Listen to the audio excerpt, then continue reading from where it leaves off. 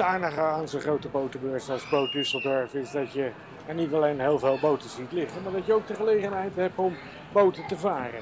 Voor een speciaal kanoparcours is de mogelijkheid geschapen om uh, bootjes uit te proberen te kijken of de kanosport wellicht wat voor jou is.